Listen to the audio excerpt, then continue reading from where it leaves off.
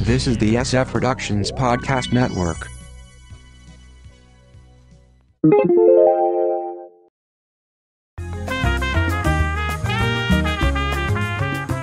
That really wonderful TV year, 1984. From the Pop Culture Bunker, I'm Mindy. And I'm Mark. You can check out our audio podcast, How I Got My Wife to Read Comics on iTunes, or on our website, sfpodcastnetwork.com. So I've collected TV Guide fall preview issues over the years, and I thought it would be fun to talk about which shows made it, which didn't, and which ones we actually watched. Right. And I have to give credit to Ken Reed's TV Guidance Counselor podcast for this idea. Mm-hmm. Uh, we previously did 1982. We're skipping 83 because I don't have the issue. I guess it's because I was in college at the time and I didn't get around to picking it up. Oh my gosh. I'm missing that issue. eBay, here we come. Cable begins to be a presence in the guide by this point. And while most of it is reruns and repurposed programming, there are two notable premieres. Still the Beaver was a TV reunion movie on the Disney Channel, which would lead to a new series, imaginatively called The New Leave It to Beaver. Good Sex with Dr. Ruth Westheimer introduced the therapist to a large audience and led to many appearances on NBC's Letterman show. We also had what TV Guide called early starters, shows that already came on the air since the previous fall deluge, several of which did very well. CBS's Airwolf starred Ernest Borgnine and Jan-Michael Vincent as pilots of a super helicopter, shades of Knight Rider. The chopper could go at supersonic speeds, had major armaments. It was actually a dark Cold War parable in its first year, but CBS wanted to make it more family friendly, so it quickly got silly. The show ran for three seasons on, on CBS and then moved to USA for a final year with a new cast and a much smaller budget. In that season, all the in flight shots of the copter were reused from previous seasons. There was no new footage. Now, this was Donald P. Bellisario's second big series after Magnum PI. Mm-hmm. Of course, he would go on to Quantum Leap and, more importantly, the JAG NCIS franchise. ABC's Foul Ups, Bleeps, and Blunders was a response to another early starter, NBC's TV's Bloopers and Practical Jokes. The former starred Steve Lawrence and Don Rickles, while the better known latter starred Dick Clark and Ed McMahon. Both were basically the same show with two parts. Bloopers from TV shows, which up to that point were rarely seen outside of end of season party reels for the cast, and wacky stunts and jokes played on celebrities with hidden cameras. NBC's version ran on NBC in various guises for 14 years, then on to ABC for 9 years, then in syndication in the 2010s. ABC's version ran for two short seasons and disappeared, but they did broadcast the infamous Star Trek blooper reel for the first time. Today, of course, TV and film bloopers are all over the internet. The practical joke TV show concept goes back to Candid Camera and would eventually spawn shows such as Punk'd. ABC's Call to Glory was a family drama set in the days of the Cold War with an Air Force theme. Craig T. Nelson stars as a pilot and father to three kids, with wife Cindy Pickett and grandfather Keenan Wynn. A young Elizabeth Shue played the daughter. Nelson would go on to the long running sitcom Coach. The show only lasted one season. So far, the shows we've talked about, I didn't really watch, and hmm. that might have been part and parcel with me being in college then. Yeah. Next show, Kate and Allie was a major hit for CBS and one of the first shows with two independent divorced women who weren't desperately trying to find a new guy. Susan St. James and Jane Curtin starred with their TV kids Ari Myers, Allison Smith, and Frederick Kaler. The show was originally only given six episodes, a rarity at the time, but standard operating procedure today. Then the show became an immediate hit, running six seasons and hitting the top 20 for the first four of them. There was even a spin off called Roxy, starring SCTV's Andrea Martin, but it only lasted two episodes. Kate and Allie was shot in New York, also a rarity at that time, in order to allow James to work without relocating her family to LA. At one point, the show was taped at the Ed Sullivan Theater, now the home of Stephen Colbert. The network made sure that viewers saw the leads going into separate bedrooms in order to avoid impressions that they were lesbians. Jane Curtin, previously on the original SNL, would go on to Third Rock from the Sun. Susan St. James already had a long career from Name of the Game and an Emmy to McMillan and Wife. She essentially retired after this series, and that is one I watched all the time. So, as did I. And another one I watched a lot is NBC's Night Court, which was created by Reinhold Weege, known for his work on Barney Miller. Idea is similar, with a rundown courtroom instead of a rundown police station. It's also similar to Law and Order in that there were a number of cast changes. the only constants were Judge Harry Stone, Harry Anderson, whom the show was built around, prosecutor Dan Fielding, John Larroquette, and bailiff Bull Shannon, Richard Moll. Harry was an amateur magician. Of course, Anderson was a comedy magician in real life and brought maybe too much levity to the courtroom, while Dan was a narcissist and Lothario, and Bull was slow witted and also very innocent. There were four different public defenders throughout the run of the series Gail Strickland in the pilot, Paula Kelly in season one, Ellen Foley in season two, and Markie Post for the rest of the series, and by far the best remembered one. I don't know if I remember any of the other ones. I don't know if they're even in the syndication package. Yeah. There were two court clerks, uh, Karen Austin in season one, and Charles Robinson for the rest of the series. And then there were also three female bailiffs Selma Diamond, seasons one and two, Florence Halop, season three, and Marcia Warfield for the rest of the series. Diamond and Halop actually died during the show's run, and that's why they made the move to a younger character. I'm not sure I would have taken that job though. Yeah, yeah. Of course, that was taken over by Warfield. Uh, there were a large number of recurring characters during the show's run. John Astin played Harry's insane father. Mel Torme played himself because Harry was a huge fan. TNG's Brent Spiner played an Appalachian yokel. Florence Stanley was a fill-in judge. Now she played the same character on My Two Dads. Ah. The show ran for nine seasons, in the top 20 for three of them, and won seven Emmys out of 31 nominations. John Larroquette won four of them in a row, which is still a record, and then withdrew his name for future consideration. He was tired of winning. Which is what people should do when they've won Yes. more than two for the same role. Yes, he won four in a row.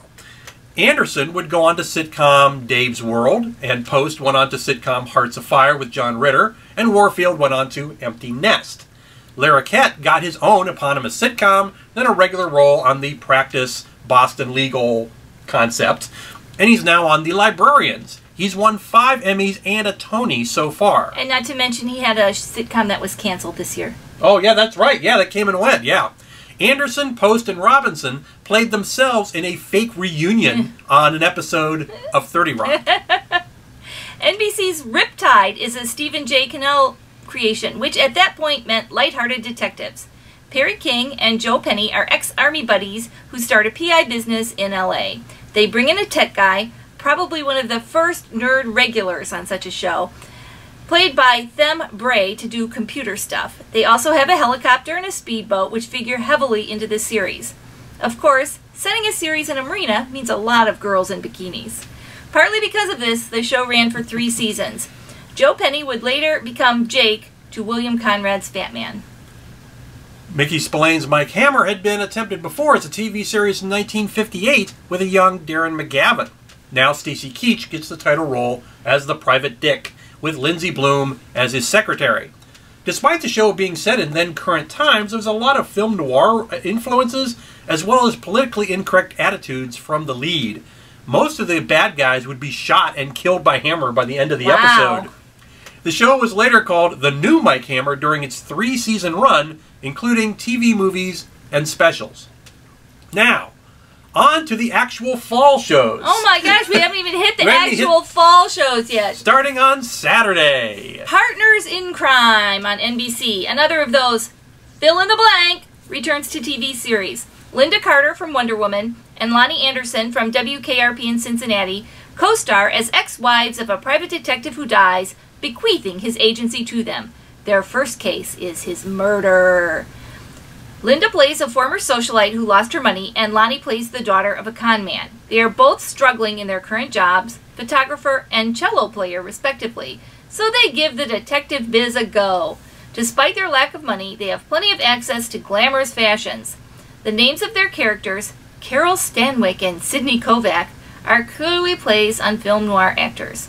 Ellen Heckart plays their ex husband's mother. The show lasted all of 13 episodes. It was produced by Johnny Carson's production company, which meant it got an automatic time slot. Lynda went into the series Hawkeye and a lot of TV movies and guest spots, while Loni went on to the series Easy Street and Nurses. Finder of Lost Loves on ABC starred Tony Franciosa, who ran a pre internet missed connection service, who brought together old flames. Mm-hmm. Deborah Adair played his assistant. Similar in concept to Love Boat or Fantasy Island. It's an anthology series with an ongoing cast and guest stars doing the heavy lifting, and was also produced by Aaron Spelling. Spelling's Golden Touch didn't work this time, one season and done. It did end up as a riff on MST3K, with confusion over whether Tony Franciosa or James Franciscus played the lead. Franciosa had already had leading roles on Valentine's Day, Name of the Game, Search, and Matt Helm. Cover Up on CBS stars Jennifer O'Neill as a fashion photographer whose husband is killed. She then learns he was a CIA agent, so the logical thing to do is hire model Jon-Erik Hexum to help find the killer. The CIA is impressed with her initiative and offers her a job. They would still be photographer and model, just with a side business of being secret agents. This short run series, one season and done, is mostly remembered for a terrible accident. Hexum was playing with a prop gun during break between scenes, which he thought was unloaded. Turned out the blank was powerful enough to give him massive skull damage at close range, putting him on life support before he was declared brain dead. A new assistant was hired, played by Anthony Hamilton, but the show was soon gone. Jennifer O'Neill had previously starred on soap Bare Essence and was a lead in the film Summer of 42, but was best known as a model. Hot Pursuit on NBC is basically The Fugitive with a husband and wife on the run. The couple is played by Kerrie Keane and Eric Pierpoint. She is framed for murdering her boss, and he breaks her out of prison. Turns out the boss's wife, Dina Merrill, orchestrated the whole thing. Seems more like a TV movie than a series, which is probably why it only lasted 12 episodes. Uh, Eric Pierpoint would go on to play George Francisco on the Alien Nation TV series, as well as Fame, Silk Stockings, and Hart of Dixie TV series, as well as the Star Trek TV franchise. He was on all the modern Star Trek series Wow. in guest roles. Dina Merrill had a long film and a TV career, but this was her only regular TV role. Well, that kind of surprises me. Yeah. Hmm. Moving on to Sunday. Punky Brewster. What a cheery premise. Adorable moppet Soleil Moon Frye is abandoned in Chicago and found by crusty landlord George Gaines. Will they get along? Will he do the legal thing and hand Punky off to social workers? Of course not. He fights to legally adopt her and does so. The show ran for two seasons on NBC, the highest rated primetime show for girls 2 to 11, then ran in syndication for another year. Since the show ran on Sundays early in the evening, it was often impacted by NFL games. The solution was to shoot a set of 15 minute episodes to fit the tight schedule. The character name was provided by NBC chief Brandon Tartikoff, based on a childhood crush. Punky's dog was named Brandon. How sweet! the show would generate a Saturday morning cartoon called It's Punky Brewster. Soleil Moon Frye went on to a regular role on Sabrina the Teenage Witch and a lot of voice work.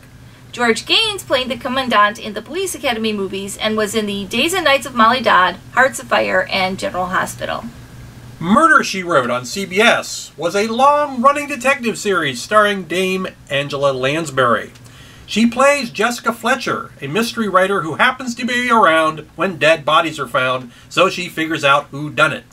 Obviously, she did. She's the only common point among the episodes. Obviously, Obviously. Jessica was a mass murderer. Exactly. Despite the simple premise, local cops are stumped, Jessica glides in and solves the case. It became an enormous international hit, hitting the top 10 in the Nielsen's for 8 of its 12 seasons.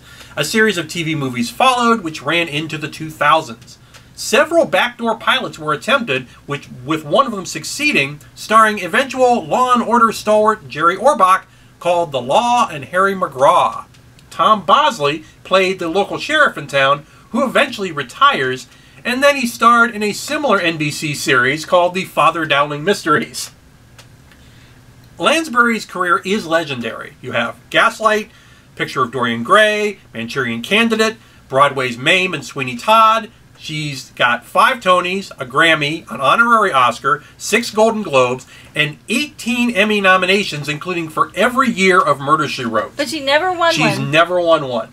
wow. Mark, stop. Wait. There's just too many shows to talk about at one time here. I suppose you're right. I think we have to take a break. Okay. So, You can check out the second part of this episode in a couple weeks. In the meantime, you can check out our audio podcast, How I Got My to Read Comics, on iTunes or on our website, sfpodcastnetwork.com. From the Pop Culture Bunker, I'm Mindy. And I'm Mark. Thanks for watching.